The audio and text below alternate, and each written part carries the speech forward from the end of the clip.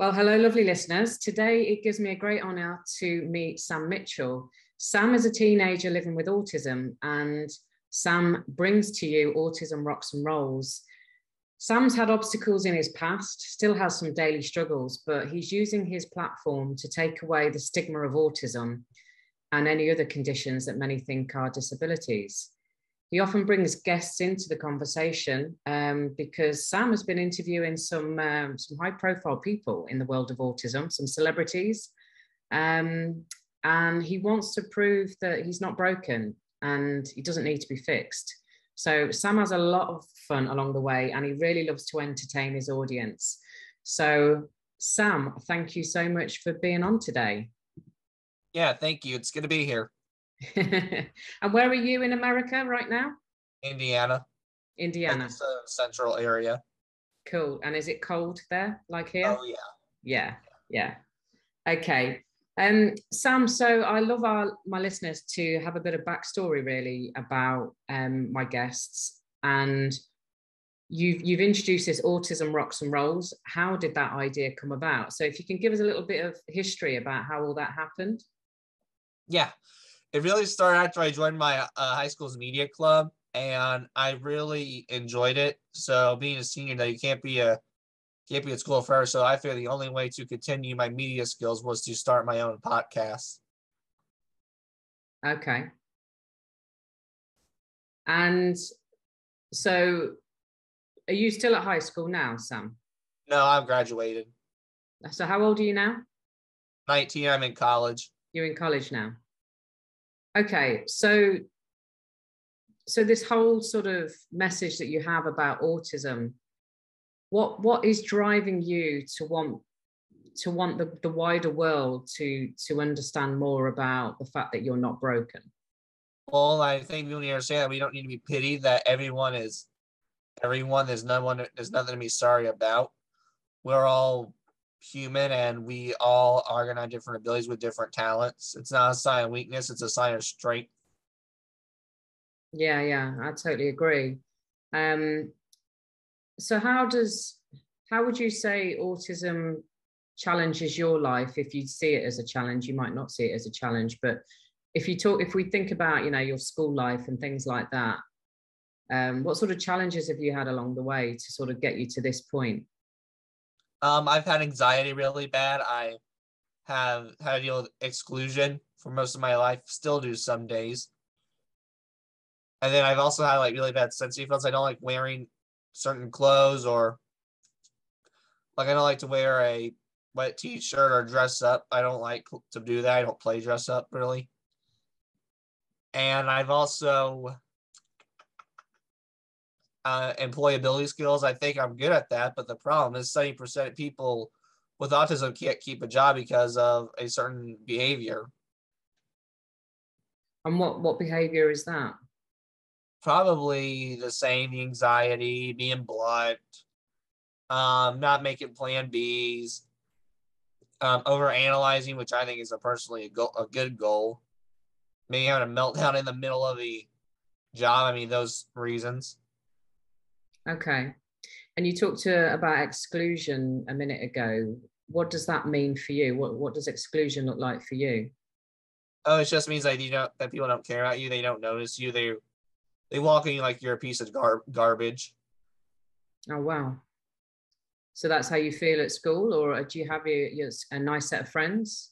Oh, yes, I have a set of friends now, but previously I would say yeah, and sometimes with others, yeah but I do have a big, but I have a group of friends, and I'm grateful for it every day. Yeah, definitely. Um, do you do you, some of your friends also have autism, or are they? Uh, yeah, yeah, yeah. Some of them do. I mean, not all. I mean, some are have their own challenges. Yeah, but they're all pretty great. Yeah, absolutely. Um, okay, and you mentioned um, clothing. So, what sort of clothing do you go for? Um, basically not nothing with a hole in it or not as wet or not a suit and tie. Oh. If I oh. have, I'll do. If I have to, I'll do it. But uh, I pre- I prefer wearing something else. Thank you. Okay. And um, when did Autism Rocks and Rolls start? It started in October 2019. I can't give you the exact date, but I can tell you the month and the year.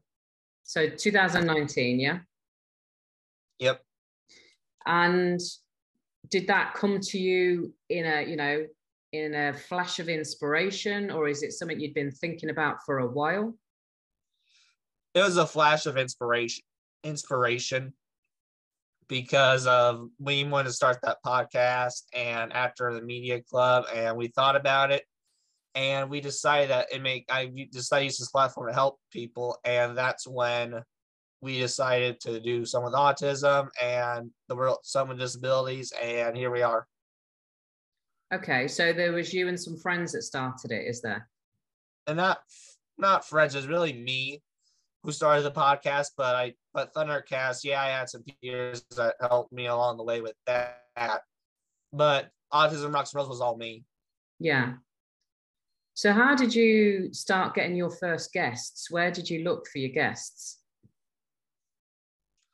Well, the first the first two two guests was recommended by my mother, who's my editor, and I was like, okay, we can do that. And then we decided to start with Simon Majumdar. He's an Iron Chef judge on Cutthroat Kitchen and Guys Grocery Games. Well, we decided, so I decided because we learned that he has a nephew who's on the spectrum. And at first we thought, nah, he probably, he probably wasn't going to respond, but I thought, well, can we at least try? I mean, I'm probably not going to, he probably won't respond either, but let's give it a shot. The next day he responds and we did a big we met him and he was very probably in the top five most humble celebrities of all time.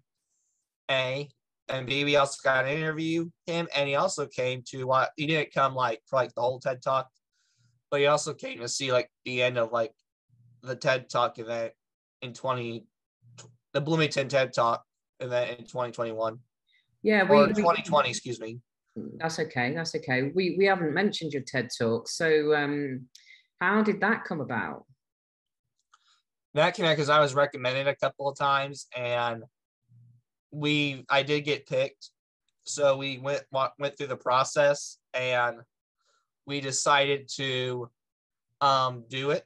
We had to do it virtual because of COVID. Yeah but we were able to do it and it was called soul structure and why autistic people need structure just more in depth with the reason. And was that something that you wrote yourself that whole talk or did you have, have help or? I had help. I had help with it but the some of the idea the ideas really came from me. Was it scary? No not not scary. It was virtual so it wasn't too bad. But even if it was like on stage, I wouldn't have been afraid. I'm not. I don't have stage fright. Really? No. Oh, that's amazing. Um, good for you. So, so you did that back in 2020, um, and then the the guests that you've had on your podcast since then, how how are they coming around? Because I've seen you've got WWE. You've had a, some people on from yeah. That, that was that was a, that was a good moment. Um, really, I just asked really. I mean, I kind of an elaborative statement asking, but I really just asked, and it's possible, really. So, I mean, any person with a podcast can get guests within their area if they really ask and they have and they sound convincing. So you're just literally like, are you specifically targeting people that are um, affected by autism or, or disabilities who have a story? Okay, okay. Um, and how do you find these people then? Are you just researching on the internet? Um, something like childhood, like Mick Foley, I knew, and I learned he has Southern Spectrum, so I kept trying with him. Some of them were recommended by my mother. Some are through research, yes, to answer your question. But then there's some who have just said yes, who have volunteered. Al Snow, he volunteered graciously when I met him at a Bloomington wrestling event. So it all depends. It's a variety. Cool. And do you enjoy those doing those interviews? Oh yeah, they're yeah. fun.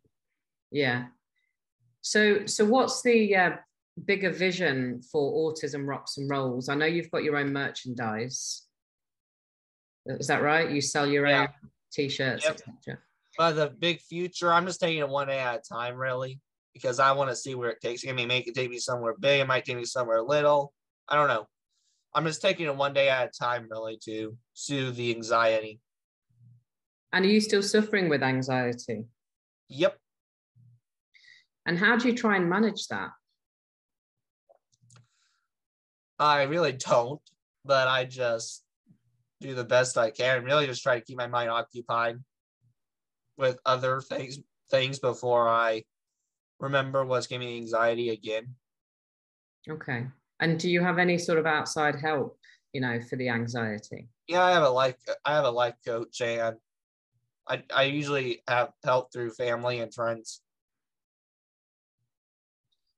Okay. And if anybody's listening that may be um, suffering with anxiety now, have you got any sort of advice or pearls of wisdom for them?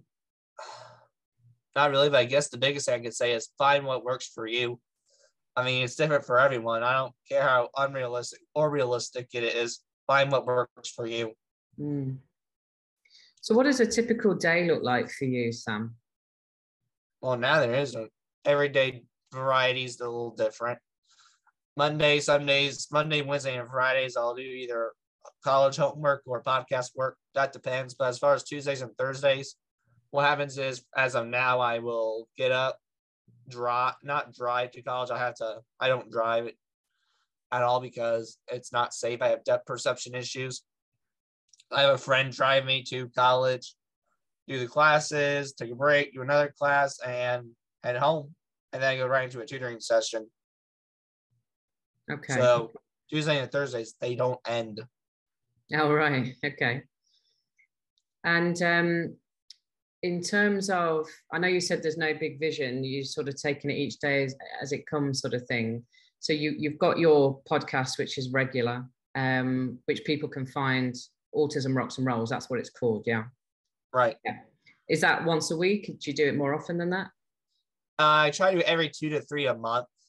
Okay. Typically, because being in college, so we were we were going to do every 16 days, but due to sponsorship, we had to adjust it to every 13 days. So count 13 days from the last published day. Boom, that's the next date.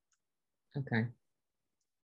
Um, and are you are you looking for anybody in particular at the moment in terms of those guests? Um, Mick Foley, but you find a way to get um, either Joe Kenda on the show or Gordon Ramsay. That'd be wonderful. Gordon Ramsay, did you say? Yep. Have you tried him? Have you approached him yet? Not yet. I'm I'm I'm I'm saving him for season two. But oh, okay. um, yes, but Joe Kenda, he's like a big Colorado detective. If you watch Homicide Hunter, he he's pretty big on like detective work, but the cool thing is he he after he retired, like from the detective, he drove a special needs school bus. Oh, okay. And what's the connection with Gordon Ramsay? If have you heard about his childhood? Uh, not particularly, no. Oh, you need to watch that. That that will explain your answer. You wonder why he's so blunt. Look, go go watch his childhood, and then you'll see why. Let's put it that way. Okay. Okay, so that's not the big. It's not the best, and plus his brother was on heroin a lot. Okay, so that's why you want to interview him. Yeah, that, and I just and I just think I just heard he's a outside of like his savage, blunt mouth when he's on off the cameras. He's a really great guy, is what I've heard. Okay, all right, that's cool. Um, so I, I guess Sam, um, keep doing what you're doing. You, are doing amazingly. Um, it was your mum and dad that approached me to to get you on the show, and I, as soon as I read what they put, I thought, wow, what an inspiration you are. Thank um, you. Yeah, no, absolutely. Um, and you've got the, excuse my my language, but you've got the balls to go out and do what you're doing and approach these celebrities and and not give up. Um, and that's a massive inspiration uh, not just to people with autism or disabilities that's a massive inspiration to everyone sam because there are a lot of people that do not have balls like you do yeah well that's good news at least i feel like i got a pair of testicles Um, I always like to finish um, off with any pearls of wisdom that you might have for people with autism that might might feel inspired listening to your story. Well, it's not with autism, but I would say I think for everyone, if the world could be nice and not be stupid, I think we get along perfectly. I love that. Um, and where can people find you, Sam? On their favorite media platform.